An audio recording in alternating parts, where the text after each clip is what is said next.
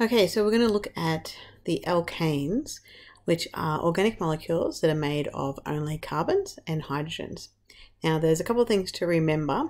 Whenever you have a carbon, it will always have four bonds. Will always have four bonds.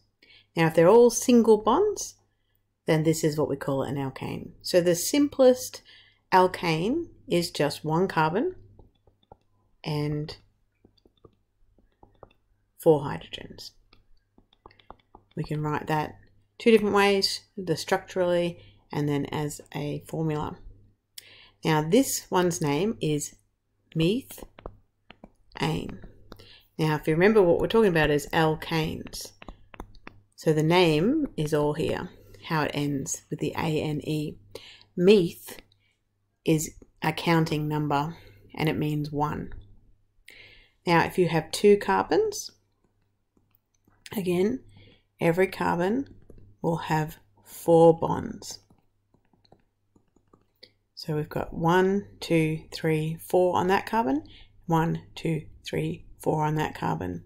Now we could write this one as CH3, CH3, so we're still kind of giving a bit of a structure here, or better yet, C2, H6.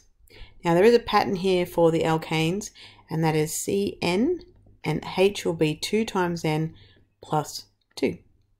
Now this one is going to end in ane as well because it is an alkane. So we set up here that ends in ane. Okay, and the counting number for 2 is eth. So this is ethane.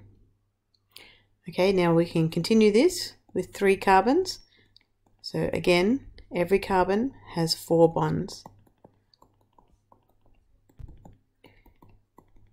Now we could write this as CH3, CH2 because this middle carbon only has the two hydrogens, CH3, but more commonly we write it as C3H.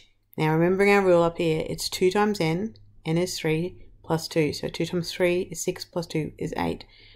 Now it's going to end in ane because we're talking about alkanes and the counting number for 3 is prop. So this one is called propane. Now we could continue with this and I will, I'll just show you the other ones are butane, right, for 4, oops, times 2 plus 2 is 10, pentane, C5H12, hex, C6H14, hept, C7H16, oct, oops, there's me, C8H18, non, C9H20, and dec is C10H22. So again, alkanes, only C's and H's. So this is your hydrocarbon organic molecules. And the counting goes meth, eth, prop, but, pent, hex, hept, oct, non, and dec. And they all end in ane, signaling that there is only a carbon and hydrogen single bonds present. Thanks for watching.